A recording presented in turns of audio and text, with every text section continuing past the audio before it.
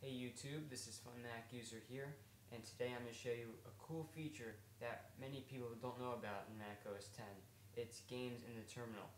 And the th three games I've found so far are Tetris, Pong, and Snake, but if you find any more, feel free to comment.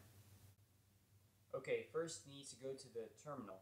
So to do that, go to Finder, then go to the Applications folder, then scroll down and go to Utilities. Then hit the terminal application, then type in Emacs, press return, then hold down escape X, and it should bring up that MX you see at the bottom. Then type in Tetris, which I did there, and press return, and you should be playing Tetris. It's that easy. Now I'm going to just play a quick round of Tetris. I'm not very good.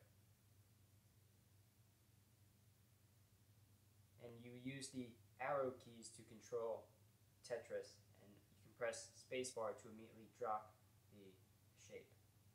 Now I'm going to show you the snake game. Remember, type in Emacs, press return, then press escape X, then I typed in snake, I pressed return, and look at that, I'm playing snake. It's that easy.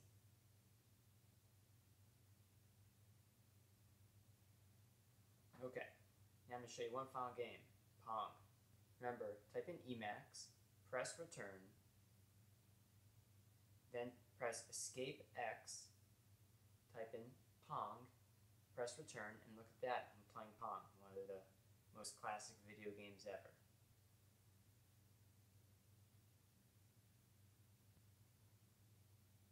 Anyway, thanks for watching. If you have any questions or comments, uh, please feel free to leave them.